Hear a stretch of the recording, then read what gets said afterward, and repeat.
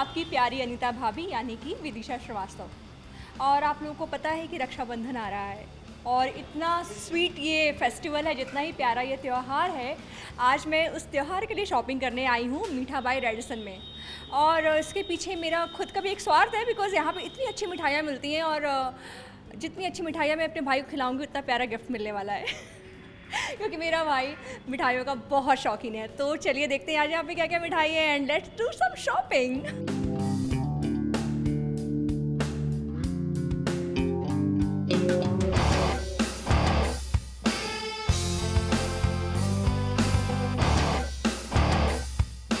god यहाँ पे कितनी सारी मिठाइयाँ एंड पैकेजिंग इतनी सुंदर है। और मैं ये सब देख के तो रियली कंफ्यूज होने वाली हूँ कि मुझे क्या पिक करना है अपने भैया के लिए। सो so, यहाँ पर तो हमने बहुत सारे हैम्पर्स देखे इन्होंने बताया अंदर क्या क्या है। अभी लेट्स मूव ऑन टू मिठाइयाँ। यहाँ पे इतनी खूबसूरत मिठाइयाँ दिख रही हैं मुझे। And I just don't know which one to pick I think मैं सारी टेस्ट करने वाली हूँ एक एक करके। और फिर मैं सिलेक्ट करूँगी।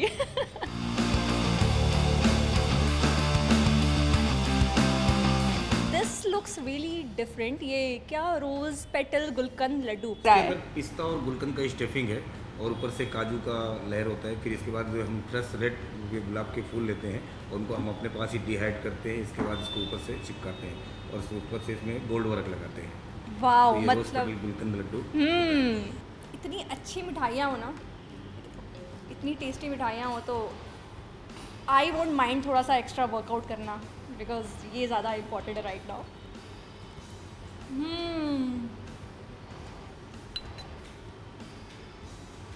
हैज़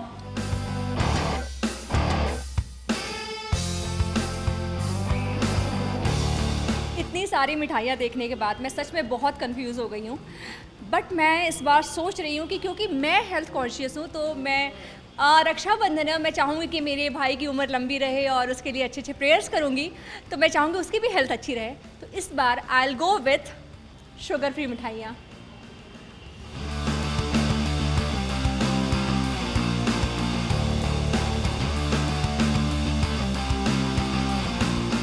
हमारे घर रक्षाबंधन बहुत, क्योंकि आई बिलोंग मतलब मैं यूपी से बिलोंग करती हूँ और हमारे यहाँ बचपन से ही रक्षाबंधन को बहुत बड़ा फेस्टिवल ऐसे माना गया है। तो हमारे यहाँ सुबह सुबह तो हम लोग ऐसे नहाते धोते अपना नहावा के सब भैया के लिए हम लोग थाली तैयार करते हैं। उसमें दिया, रोली, चंदन और अक्षत सब डाल के हम लोग थाली पूरी तैयार करते हैं। प्लस रख मिठाइयाँ रखते हैं।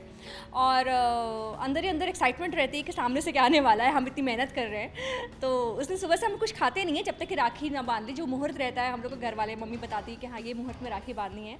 तो उस मुहूर्त का वेट करते हैं। राखी बांधते हैं। बहुत सारी फ़ोटोज़ क्लिक करते हैं ऑफ़ कोर्स थोड़ी सी छेड़खानी करते हैं एक दूसरे के साथ लेग पुलिंग करते हैं।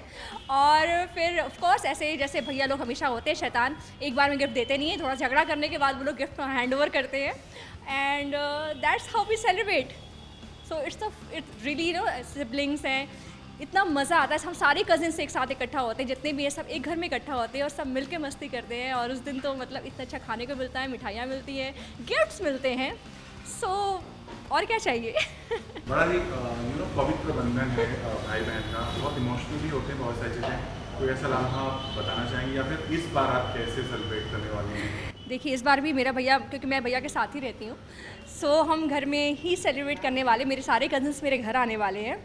और भैया लोग के साथ तो हर मोमेंट स्पेशल होता है। हम लोग बहुत आपस में लड़ते झगड़ते भी हैं फिर एक दूसरे को एक दूसरे की शिकायतें भी करते हैं मम्मी से। और लेकिन उसके बाद हमें पता है हमें कवर अप कैसे करना है। सो so, भैया मैं और मेरी छोटी सिस्टर हम लोग आपस में ना we are more like a friends भाई बहन तो हैं ही लेकिन हम लोग ना सारे सीक्रेट्स एक दूसरे को कवर अप करते हैं जब भी हमारे हमसे कोई गलतियाँ होती हैं कुछ भी होता है। तो हमें पता है कि we have each others back so it's a beautiful relationship and it's a beautiful feeling and of course this this this festival is special और क्या मैसेज देना चाहेंगे? फैंस को पर मतलब कितनी मीठी रहे इस बार उनकी मैं अपने सारे दर्शकों को, अपने सारे फैंस को यही कहना चाहूँगी कि बहुत ही स्पेशल ये फेस्टिवल होता है और बहुत ही प्यार भरा फेस्टिवल होता है। भाई बहन का त्यौहार होता है, साल में एक दिन होता है जो भाई बहन एक दूसरे के लिए मनाते हैं। भैया ऑफ़ कोर्स भाई वचन देते हैं रक्षा करने का और बहनें उनको राखी बांधती हैं। उनकी लंबी उम्र के लिए कामना करती हैं। तो जितना प्यारा ये त्यौहार है उतने ही प्यार से मनाएँ। जितने भी बहुत बार होता है भाई बहन दूर दूर रहते हैं बड़े होने के बाद अलग अलग हो जाते हैं। एक दिन एक दिन कोशिश करें हमेशा साथ में बिताएँ क्योंकि साल में एक ही दिन है जो आप एक दूसरे को स्पेशल फील कराते हैं। सो so, बस जितना हो सके एक दूसरे के साथ पल बिताएँ हँसी खुशी रहें और बहुत सारी मिठाइयाँ खाएँ।